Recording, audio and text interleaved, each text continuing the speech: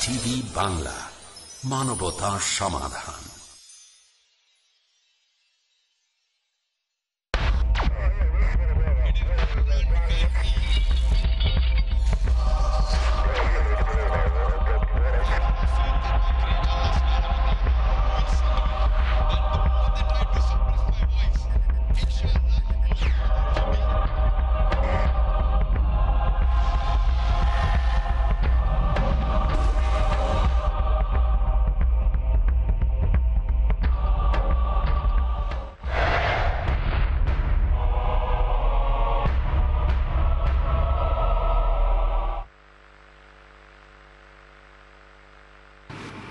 far more democratic and secular.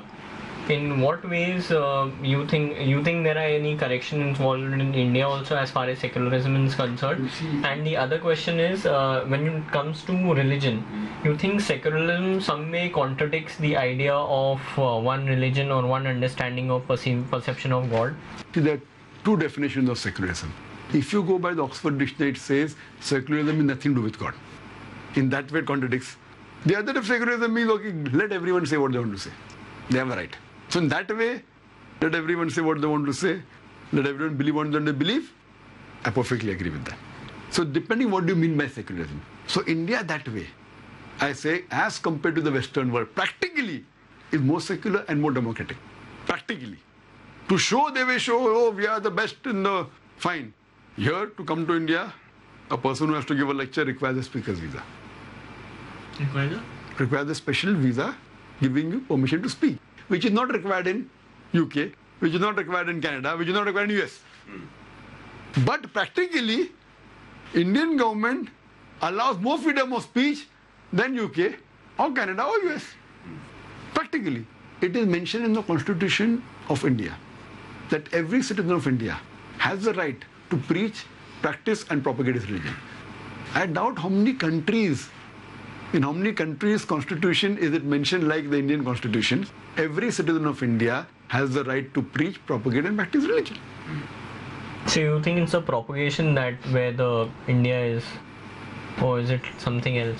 No, everything, freedom of speech. Okay. Freedom of speech practically is book. Practically means in the right context. For example, Facebook. You know the new controversy, you would have heard of that. That Facebook, some person went on the Facebook, had a new page. Let's draw Prophet Muhammad, peace be upon him. Peace be upon him, wasn't they have to say that. And everyone started sketching Muhammad Sallallahu Alaihi Wasallam, maligning him in different ways, obscene sketches. The Muslims were quite irritated. What is this? There was a big protest in Pakistan. So, okay, fine. If you access from Pakistan, that page will be banned, will be blocked. One of the persons from Bombay, what he did, he started a new page on Hitler without insulting him, without praising him. Let's draw Hitler. Within 21st to 48 hours, he got a warning from the people who manage Facebook. This is against our rules and regulation, and they scrapped the page. That means speaking against Hitler is against the rules and regulations. Speaking against Prophet Muhammad is in the rules and regulation. What are the double standards? And it is on record. I have the proof also. So if they say we don't mind anything on the Facebook, fine, at least we can accept it. Here, that means they say maligning against Islam is permitted. Maligning Hitler, who's known to be the biggest terrorist in human history, which is on record that he has incinerated six million Jews. Not even maligning him, the same, right? Let's draw a photograph. So why the double standard? Who is this person who uh, created this page in Bombay? It's a, it's a person, I think is uh, the Mohsin. The proof is there, but now it's not there on the Facebook. Would your office be having his number or something? I don't know his full name. I think it is Mohsin. Okay. Oh. So he met me and he gave me the proof. His name is Mohsen something. He gave me the proof. This is the proof there, this is this. And hardly two, three people came on the page. Okay. But within 24 or 48 hours, I think less than 24, maximum 48 hours. Because there are people controlling. And they have rules and regulations. It's not freedom of Yeah, yeah, yeah. Yes. Rules and regulation only to prevent Muslims. You know, to propagate. So what we realize that these double standards, if you want to call a spade, call a spade. But isn't, don't you think such double standards exist in India too? But you don't think so? But to a much less extent. Therefore, I said better than the Western countries. Practically. Double standards exist throughout the world. But I said better than the Western countries because at least they say, at least they say openly, fine, that a speaker requires a visa.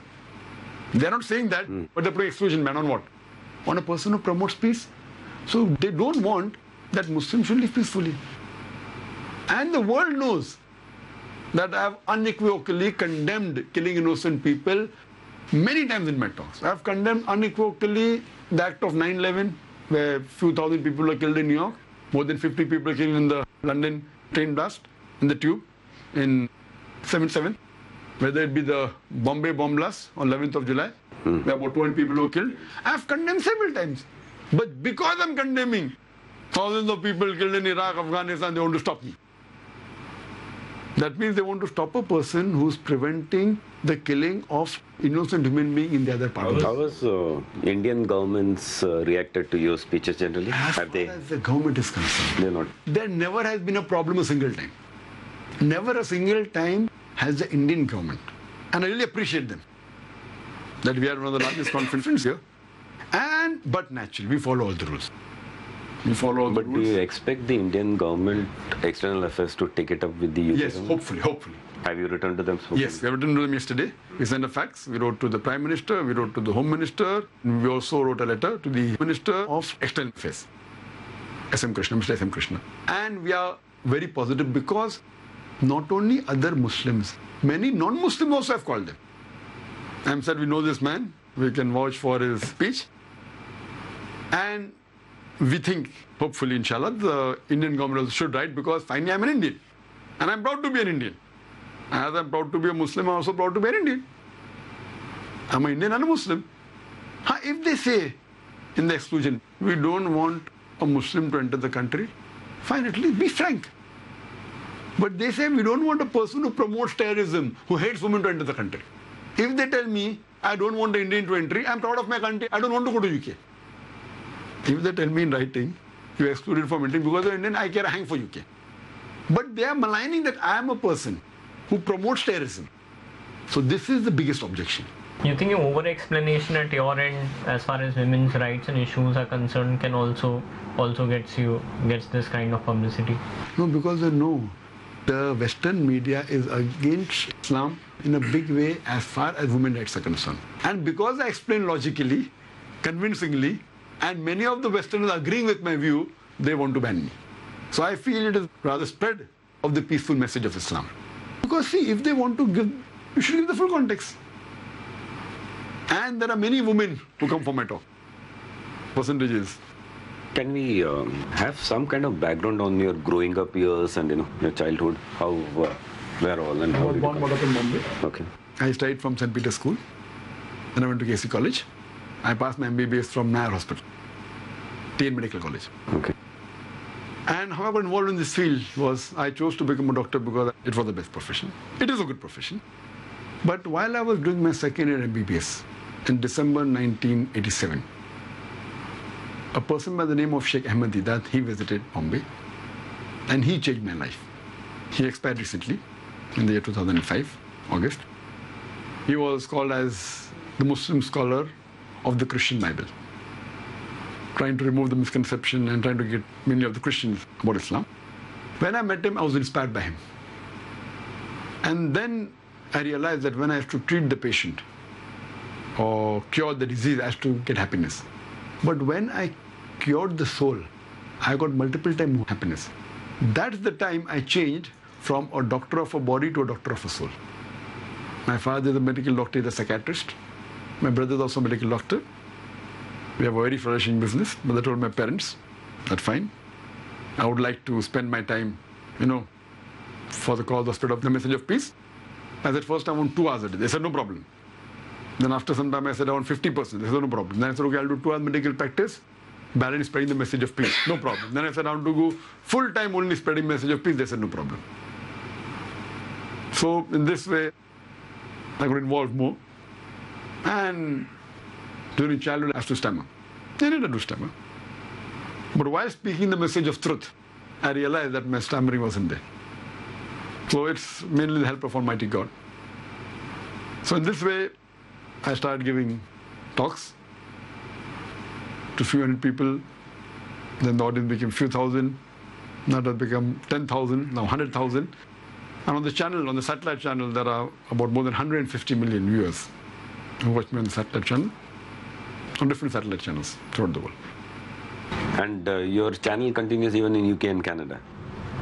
Or have they kind of tried to block it? Again, my channel, if you say, yes, I'm the brand ambassador of Peace TV, Yeah. like how Shah Rukh Khan is the brand ambassador for Tag Heuer. Fine. So in that way, yes, the channel is continuing throughout the world. It's uplink from Dubai also and uplink from London. It's covering throughout the world.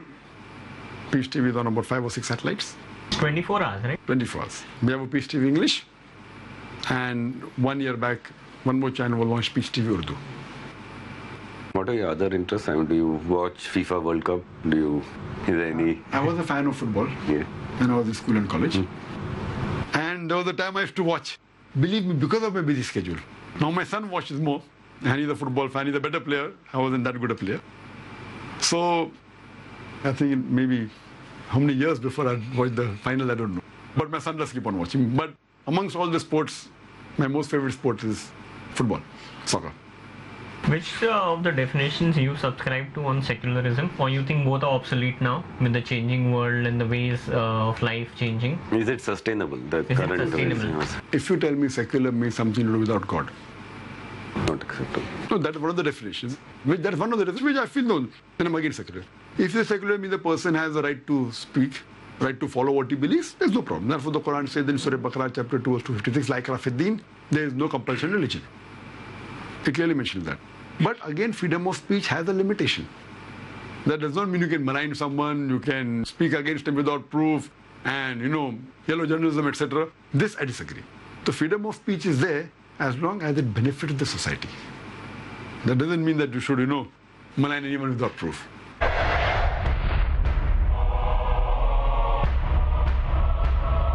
لبيك اللهم لبيك لبيك اللهم لبيك لبيك لا شريك لك لبيك আসসালামু আলাইকুম আমি মোহাম্মদ বদরুদ্দোজা নাদবি পবিত্র হজ উপলক্ষে সমস্ত হাজিগণকে জানাই আন্তরিক মোবারকবাদ لبيك لا شريك لك لبيك শরিয়তের শিক্ষা শরীয়ত প্রত্যেকটি আল্লাহ প্রদত্ত। তৌহিদের প্রচার। তখন অল্প সংখ্যক মানুষ তারা বলবে এটা হলো তহিদ এটা হলো শিরিক এটা হলো সহি এটা হলো জয়ীফ দাওয়াতের দায়িত্ব। সন্ন্যাতকে মূল্যায়ন করুন। এই সমস্ত বেদাতে আমলকে বর্জন করতে হবে। মুজাফফর বিন মুহসিন। বেদাতের সঙ্গে সুন্নাত বিরোধী কাজের সঙ্গে আপনি কখনো আপোষ করতে পারেন না পারেন না। সমস্ত মানুষকে ইসলামের ছায়াতে একজট করার চেষ্টা আমাদের জীবনকে আলোকিত করার প্রয়াস। সুন্নাতের লক্ষ্য। প্রতি শনিবার রাত সাড়ে দশটায় বা পুনঃ সম্প্রচার। সকাল নটায় বাংলাদেশে পিস টিভি বাংলায়। অতি উত্তম অর্থনীতি। সর্বোৎকৃষ্ট বাণিজ্য নীতি বাণিজ্য নীতি। সঠিক লেনদেন। বৈধ উপায়ে বড় লাভ। ইসলামী অর্থনীতি কত সুন্দরভাবে নূতন যুগেতে সফলতা অর্জন করেছে, জানার জন্য দেখুন ইসলামী অর্থনীতি পরবর্তী অনুষ্ঠান পিস টিভি বাংলায়।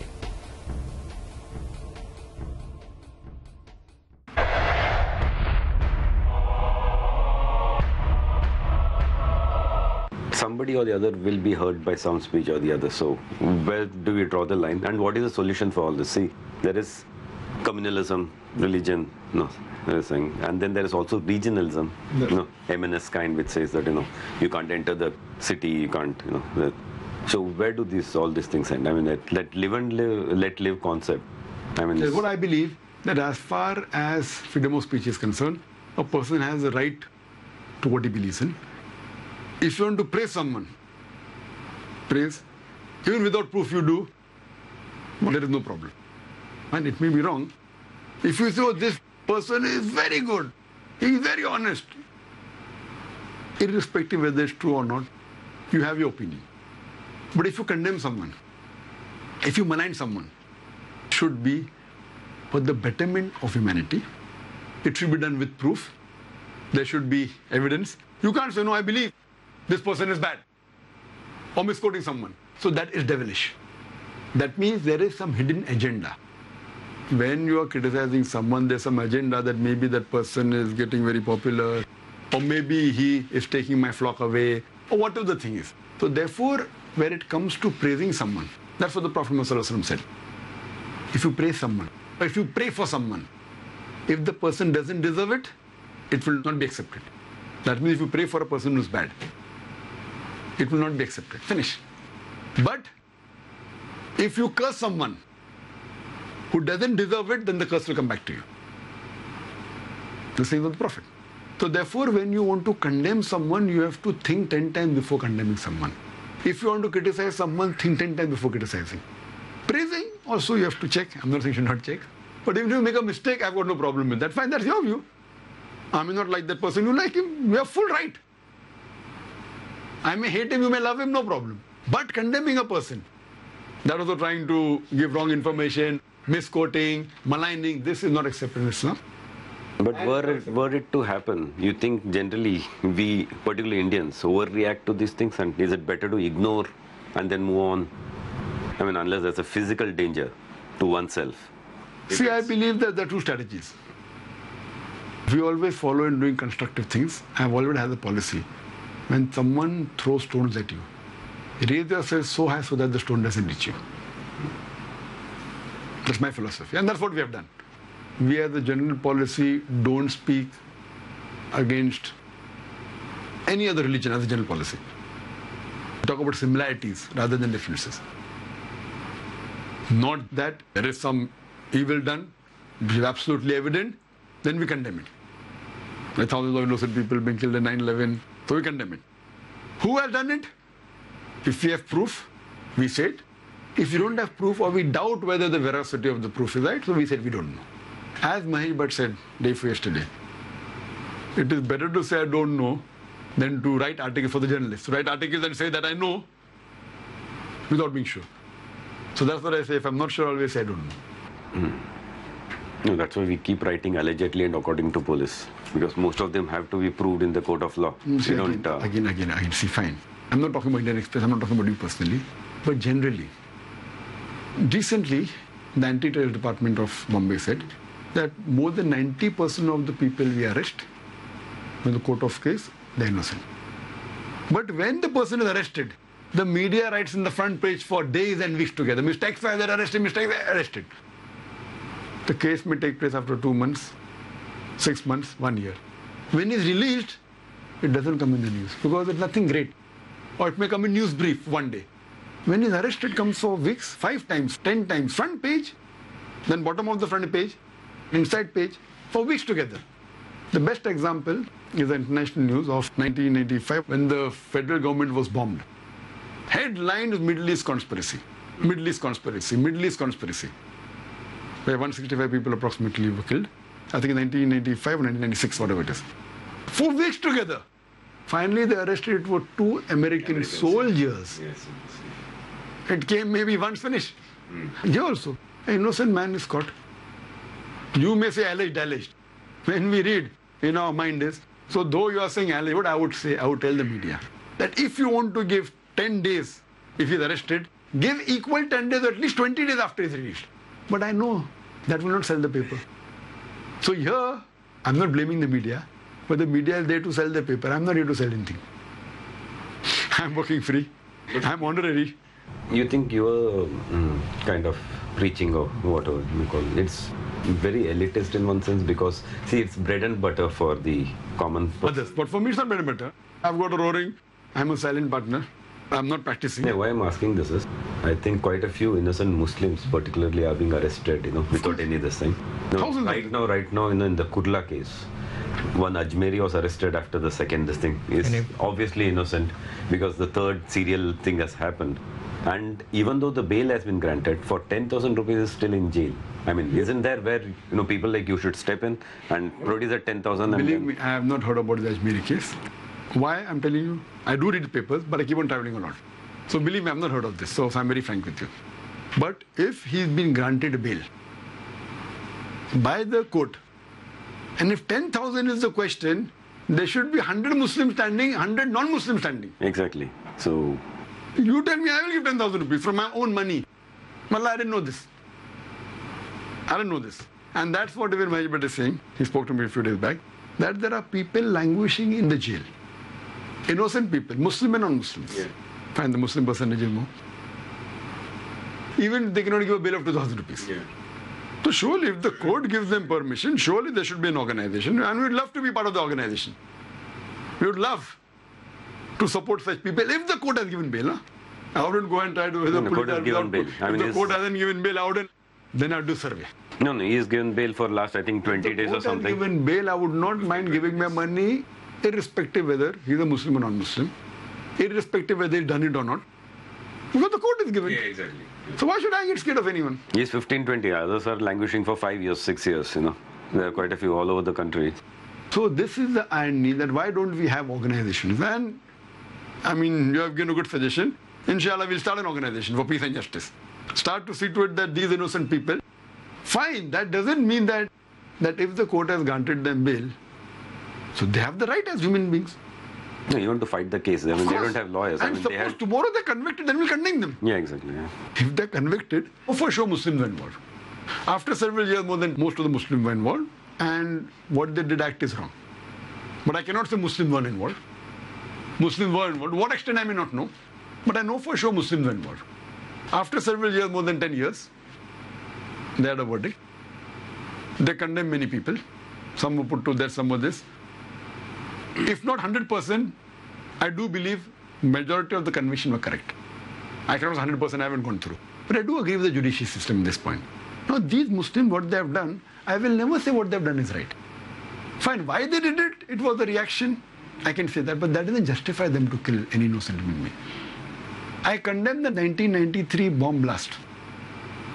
Whatever was the reason, it is to be condemned. You cannot kill innocent human beings in any way. It's against Quran, against Islam.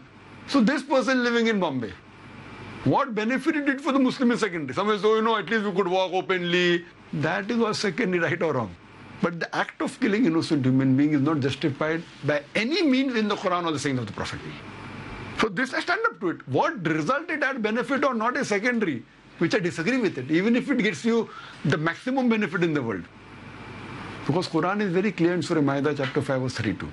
If anyone kills any other human being, and I say Muslim or non-Muslim, on now. If anyone kills any other human being, unless it be for murder or for spreading corruption in the land, it is as though he has killed the whole of humanity. And if anyone saves a human life, it is as though he has saved the whole of humanity. So Quran is unequivocal, unambiguous, that anyone kills any innocent human being, he has killed whole of the world. So where is the question? You cannot say, okay, someone in Gujarat did, therefore I'm doing in Bombay. And when I gave the talk on history of the Muslim monopoly in Shanmukhananda Hall in September 2006, after giving the scenario, there was a Hindu who said, Zakir Bhai, you know, if I would have been in the position of the Muslims, and if someone would have raped my mother or raped my sister or done atrocities, I would do the same thing what the people have done in the train blast in Bombay. Now, a Hindu saying this, the audience clapped. That maybe your situation वही करता था. So I told him, what you're thinking is like an average human being. I don't disagree with you. But I being a Muslim, I cannot agree with you. Because what you're saying is going against my religion. It going against my religion, irrespective whether they killed a thousand people or five thousand, ten thousand. It does not justify me to kill even a single innocent human being, even if he belongs to the same religion. Fine, if you catch the culprit, give him to the court of law, punish him, no problem. How can you kill innocent? After I give the answer, even he clapped. So what he's talking about emotion. So my lecture, imagine a Hindu telling me what the Muslim did in Bombay is right, and I'm saying that is a normal reaction of a human being. But as a Muslim, I cannot agree with your answer. Now these statements don't they know? Now these statements telecast umpteen number of times in UK. Unequivocally. Unequivocally. So how do we achieve peace in all this? You know, there is Naxal problem because of a you know socio-economic problem. Then there is uh, no terrorism of whatever kind. You know, this thing. Ulfa, this thing, and then there is also regionalism. How do we? What is the final solution? I mean, how do you? The final solution is that everyone should submit to the will of Almighty God, the Creator. So if we realize that this world that we are living in is not the last and the final, There is another world where we have to live, which is the main longer life. And all the scriptures say that. Christianity says that, Hinduism says that, Islam says the same. So if you realize this, that you may, as being a limp person, being a robber, being a smuggler can earn money, can get luxury, by being a terrorist, maybe get money, get all the fame, or whatever it is. But if you realize this life is only limited, on an average maybe 60 years, some die at the age of 20, some 50, some 70, some 100, 60, but the next life is eternal life. So this life is a test for the hereafter. If every human being realizes this, then he'll see to it that he will not harm the poor people. He will not suppress the people who are downtrodden. He'll uplift them. And by uplifting them, by helping the innocent people, I'm securing a safer life in the hereafter. So it's basically you're you know getting a post-dated check. I mean, human being by nature is not good person. It doesn't mean. I mean, you need a religion and the carrot of uh, an afterlife for them to behave themselves. Human being by nature is not bad. Human being has been given the free will to do good or bad. As according to the Quran, as according to the Hindu scripture, as according to the Christian scripture. But there are so many temptations. You know, okay, earn money, you'll be rich, you'll build a five-star hotel, you'll see that. These are temptations. So therefore, Quran says in Surah Mulk, chapter 67, verse number 2, Allazi. God has created death and life to test of you which is good in deeds. So we human beings have a free will to either disobey or follow the commandments of God. So after free will has been given, see because logically, if you go adamant only on pure logic and nothing else, believe me, proving any evil act will not be possible. And I say that in my lecture. If I ask you robbing is good or bad, robbing is good or bad? Right. 99.99% will say that. But if I say that I am a smuggler, very powerful smuggler, hypothetically, and then they will quote and say that Zakir is a smuggler. that I am a smuggler, very powerful, I have got all the resources. I'm a very logical person, I'm a very scientific person. You prove to me, only give me one logical reason why robbing is bad for me, and I will stop robbing. Maybe you'll say, you know, that if you rob somebody, will rob you tomorrow. So I said, fine, I've got 100 bodyguards with me with AK-47. No one can rob me. You may say, maybe the police will catch you. I said, the police in my pocket. The minister is in my pocket. I'm a top mafia.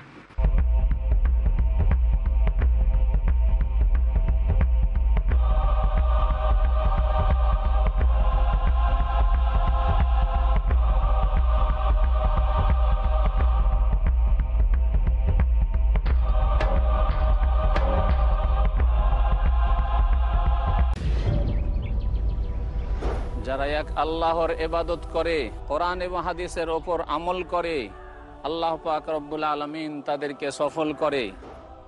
আমি মতিউর রহমান। শেখ মতিউর রহমান মদনী।